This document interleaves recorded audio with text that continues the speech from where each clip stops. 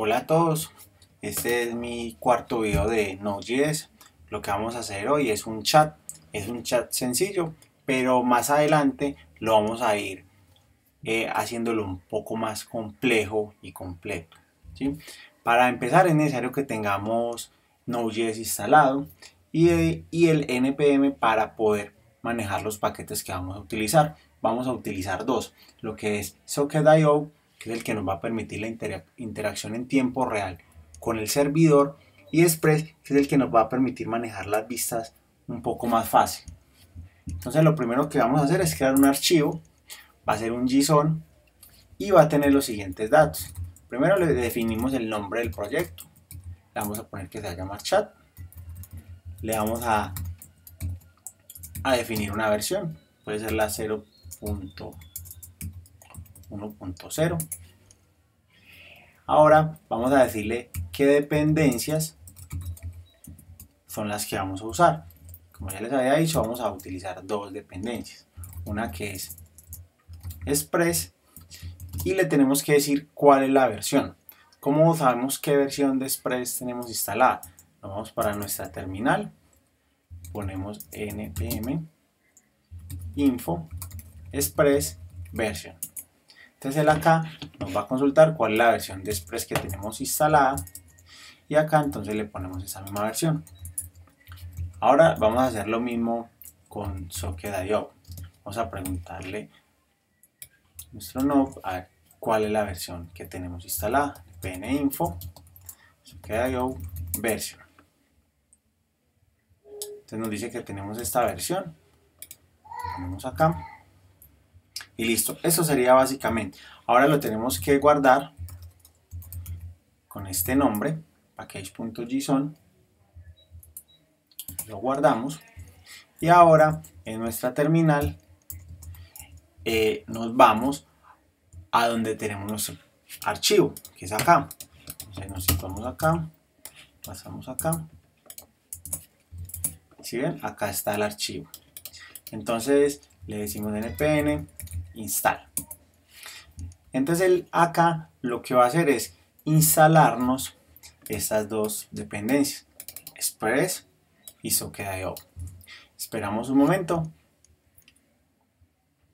y listo. Ahora, si volvemos a, a donde teníamos nuestro, nuestro archivo, ya vamos a ver que tenemos esta carpeta y están las dos dependencias que utilizamos. Ahora lo, lo que vamos a hacer es crear un archivo que es el que nos va que es el que va a hacer la aplicación como tal y le podemos le ponemos app.js entonces lo primero que vamos a hacer es, es crear las variables que van a ser los objetos de esas dependencias. Entonces la primera es express no require ponemos express esta es la primera. Vamos a crear la que va a manejar la aplicación de Express. Express. Ahora la del servidor. Ponemos require. Y el servidor va a ser HTTP. Creamos, creamos el server app que es esta que es sería express y creamos el socket.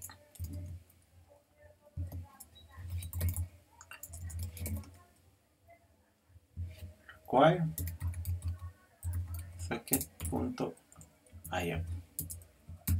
y ponemos que nos escuche el server es de esta manera ya tenemos nuestro servidor con el socket y en Express que nos facilita un poco el, manejo de vistas. Pues acá ya podemos terminar. Ahora definimos en qué puerto es el que nos va a servir nuestra aplicación. Por lo general es el 3000, pero le pueden definir otro, no hay problema. Bueno, ahora lo primero que vamos a hacer es crear nuestra primera vista. Es decir, qué archivo se va a utilizar cuando entremos a, la dirección del servidor. al index. Entonces ponemos app, la petición por get y declaramos una función acá que nos va a recibir dos valores, el require y la respuesta. Entonces ahora le vamos a decir que, que cuando ingresen a la aplicación, al index de la aplicación, nos, se nos muestre, se nos renderice en el siguiente archivo. Entonces ponemos res.send send file, ponemos esto, que sería la dirección absoluta, y creamos el archivo index.html. ¿sí? ¿Qué es lo que tenemos que hacer? Crear el archivo index.html y lo creamos acá donde tenemos nuestra aplicación. A crear, vamos a poner el nombre de chat y vamos a correr nuestro servidor. Vamos a ver si todo está funcionando. Si todo está funcionando bien, nos debe correr este archivo en el puerto 3000. Entonces, ¿qué es lo que hacemos? Nos vamos para nuestra terminal. Miramos que acá ya tenemos el archivo app.js. Entonces lo que vamos a hacer es node app. Bueno, acá me dice que tengo un error y me dice que puse listen. Y es listen. Vamos a mirar. Sí, acá es listen. Listen. Volvemos a correr nuestra aplicación y no nos sacó ningún error. Ahora lo que vamos a hacer es ir a nuestro navegador, poner localhost y el puerto 3000. Bueno, acá me dice que ese es el archivo que él está buscando. Vamos a mirar qué fue lo que pasó. Acá me faltó un slash. Vamos a mirar. Bueno, acá tenemos que parar nuestra aplicación, la volvemos a correr. Y listo. Ya está corriendo nuestra aplicación. Si miramos el código fuente, vemos que es lo mismo tenemos acá. Acá. Entonces, ahora, ¿qué es lo que vamos a hacer? vamos a construir la estructura básica de nuestro proyecto, de nuestra página, perdón, que como es un chat, entonces va a tener un área donde se van a ver todos los mensajes que se están escribiendo y el input con el submit donde uno va a poder escribir el mensaje que lo van a poder ver todas las personas que estén conectadas. Entonces vamos a crear un div que se llame chat. Vamos a crear un formulario, definimos un ID,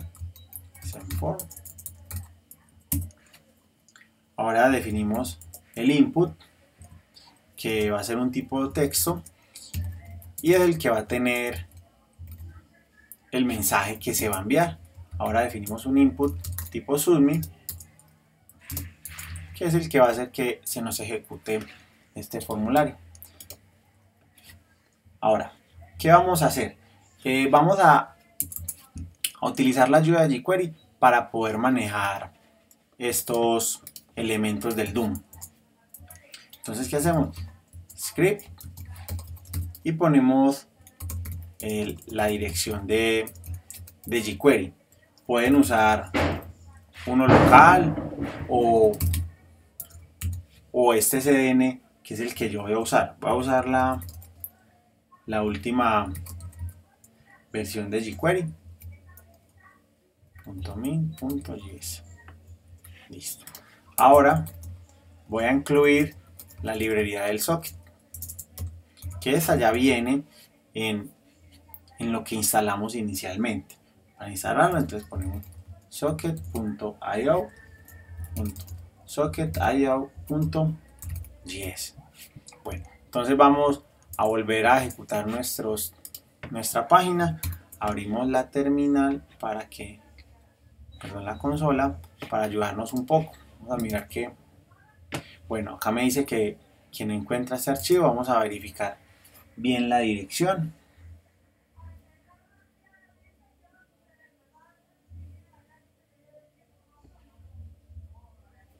Acá es la. Listo. ya no hay ningún error. Entonces está corriendo perfecto. Yo bajo esto. Listo. Entonces, vamos a darle un poco de estilo a esto. Vamos a poner style, sencillo. Vamos a decirle que, que en la caja del chat tenga un alto de 500 píxeles. Que acá es donde se va a ver todos los mensajes. Un poco menos, 200. Que acá es donde se van a ver los mensajes que se van a ver en el chat. Entonces, vamos ahora a hacer. ¿Cómo lo hacemos? Vamos a crear un script.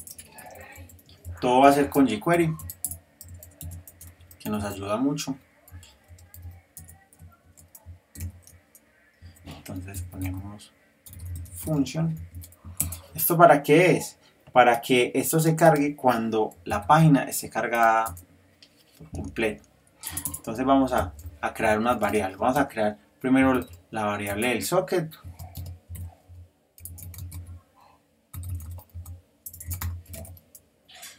Poner.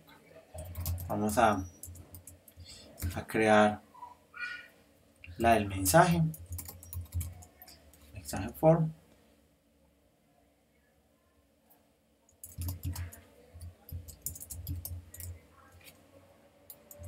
Igual a este send mensaje.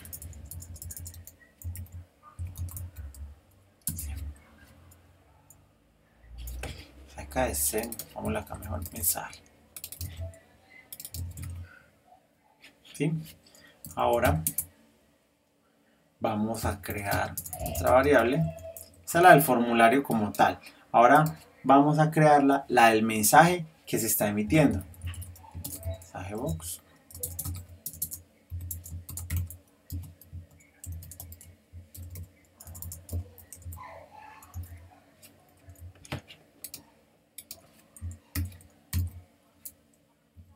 La del mensaje. Ahora vamos a crear otra que es la que nos va a manipular la, la caja de donde se van a ver todos los mensajes que es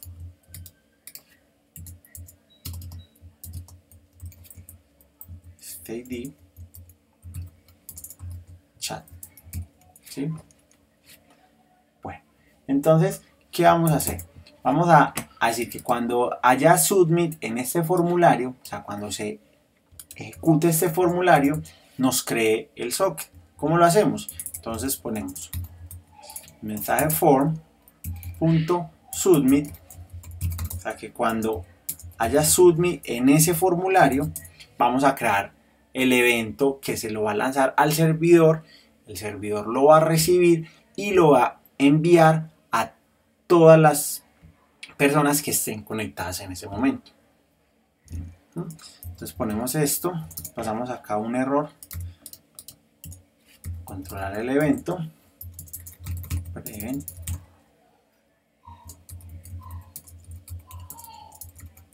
default.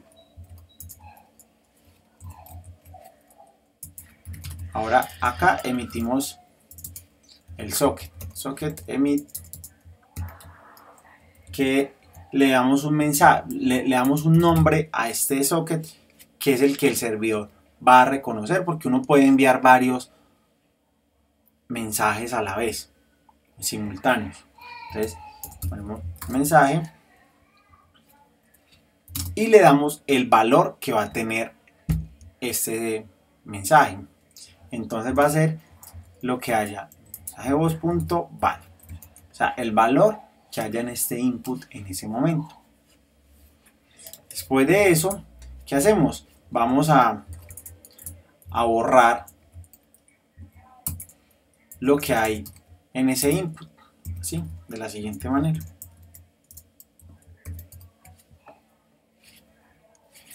Así es como emitimos el socket al servidor. Ahora vamos a definir, vamos a decirle al servidor que reciba ese socket y que se lo emita a todas esas personas que están conectadas. Acá ya llega la magia de, los sockets. Terminamos. Entonces creamos el socket. Acá generamos la, la, la conexión.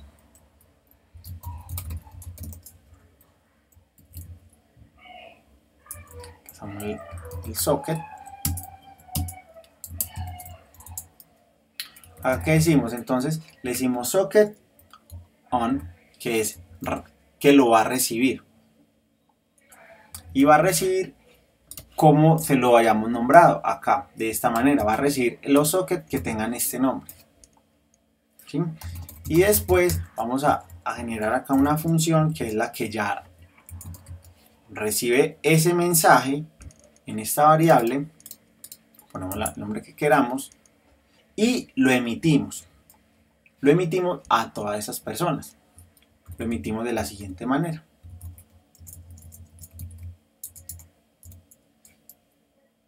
sockets.emit y le definimos el nombre que, que ya vamos a mirar cómo lo recibe y lo vamos a emitir con el siguiente nombre y emitimos el dato. Acá podemos pasar un objeto, pero ya más adelante miramos cómo se pasan diferentes datos. Acá solo estamos pasando uno que es el del input.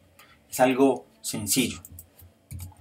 Esto es todo lo que hay que hacer acá. Ahora, acá tenemos que recibir lo que el servidor nos está mandando. Y esto lo va a recibir todas las conexiones que haya en ese momento al servidor. Entonces, ¿Cómo lo recibimos? De la misma manera que lo recibimos en, el archivo app. Socket on. Y lo recibimos con este mensaje, porque así nos lo está mandando el servidor. Nuevo mensaje. Function. Data.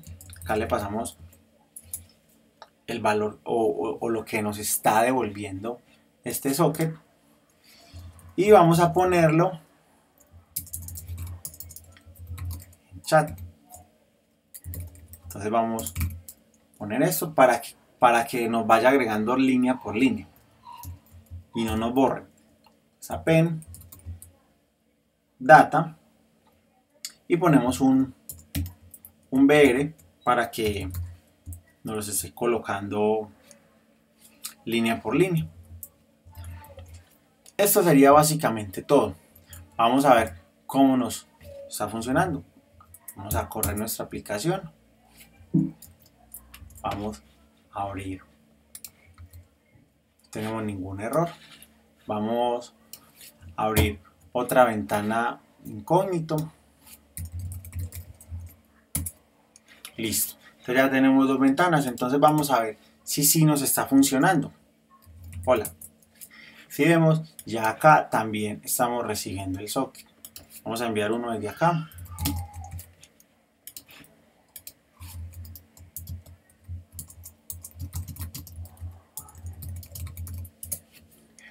Y así va a funcionar en todas las conexiones que haya eh, eh, a, esta, dirección. Vamos a mirar acá desde el Safari a ver si todo está funcionando como debe ser.